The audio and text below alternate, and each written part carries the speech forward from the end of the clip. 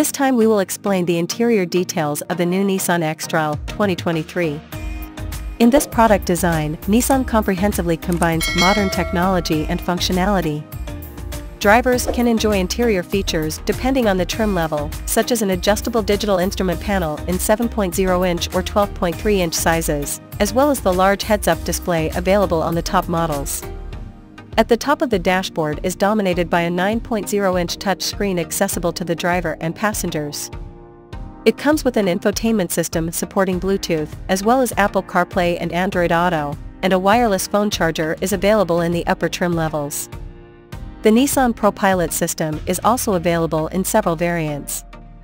Semi-autonomous system based on advanced adaptive cruise control and the latest radar and camera technology for smoother vehicle input and when the ProPilot system is used.